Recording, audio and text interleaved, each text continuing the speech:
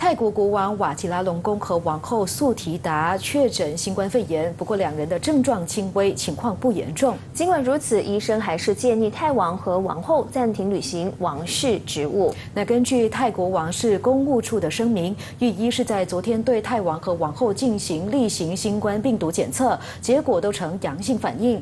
除了劝告泰王和王后暂停履行王室职务，医生也给两人开了药。泰王和王后星期五曾前往朱拉隆功国王纪念医院看望正在医院接受治疗的帕查拉吉蒂亚帕公主。帕查拉吉蒂亚帕公主因为心脏病一度失去意识而送院治疗。